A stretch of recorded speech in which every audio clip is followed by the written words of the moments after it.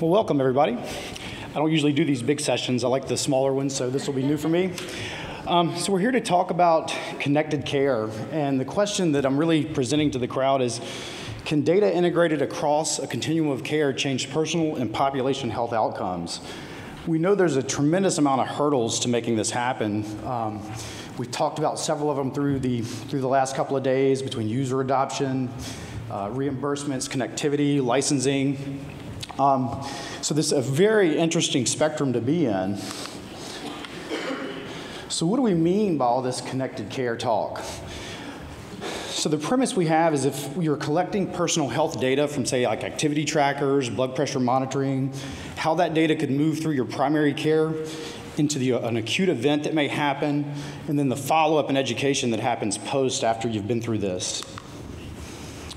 So we really broke this down into four areas. And again, this is, there could be a tremendous more number of spots along this continuum. We kind of, we look at this as a kiosk and wearables, how it moves into primary care. So with the kiosks and the wearables, it's the trackers, the Fitbits, it's going to the, the Rite Aids and doing your blood pressure cuff and that information being shared. Primary care, direct to consumer apps, personal EMR numbers, how that would go into pre-hospital assessment, telemedicine, ICUs, and then the follow-up care and what that means to us. So I pose a thought exercise here. How would healthcare change with centralized information available and was easily accessible? I'd venture to say it would change a lot. Um, so we will move into the scenario for today. So let's set up the story that we're here to talk about, that this whole discussion is going to be about. So the premise is we can completely, what would completely integrated healthcare data look like if it was accessible for patients? So our story is Dave Everyman, and if you guys have walked past, and we've had a lot of fun with the gentleman with the stand-up characters out front.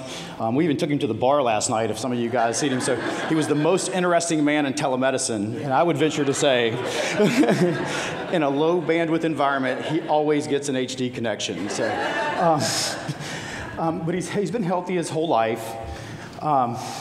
He's starting to think about the consequences and what it means to him. And so he starts to collect some of this health data and things on himself. Dave considers changing the several changes with several good friends um, that have had heart attacks, and he's really starting to look at his personal health. He's getting concerned about it.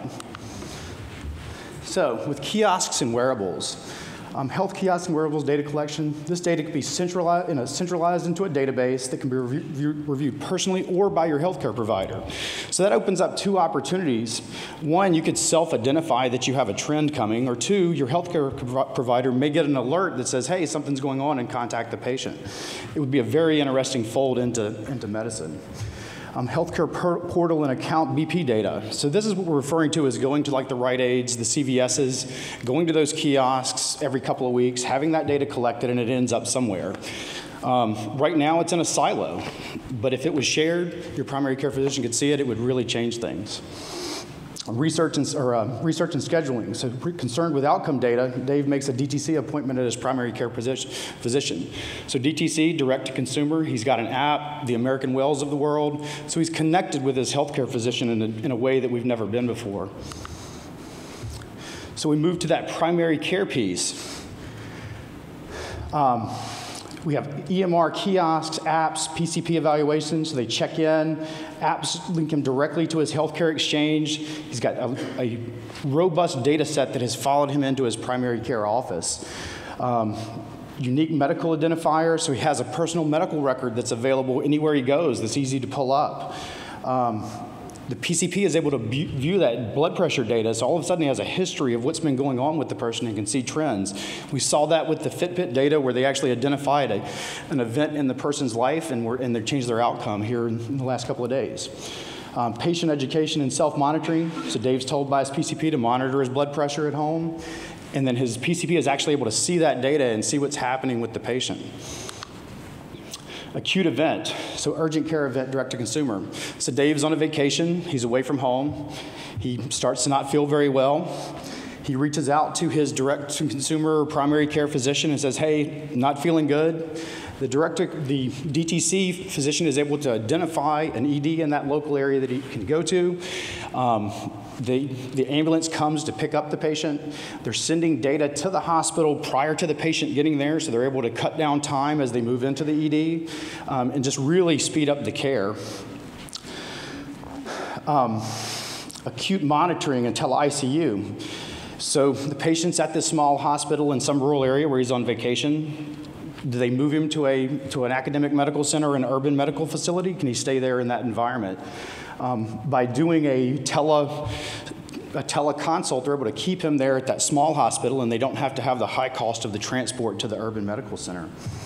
He's placed in the ICU. They don't have intensivists at the, at the hospital locally. It's reviewed somewhere remotely at a knock. Um, and then they identify what needs to happen with the patient and communicate with the local facility. But all this keeps that patient there and reduces cost and time. And then last, after this, after this care has happened, what happens with follow-up care? So discharge. Before the patient's discharged, they're able to set up an appointment through their DTC app with their primary care physician.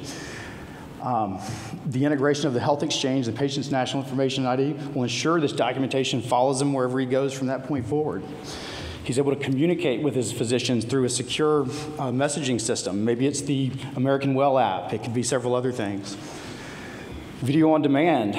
The resources that are available and easily accessible now for post and follow up care are tremendous.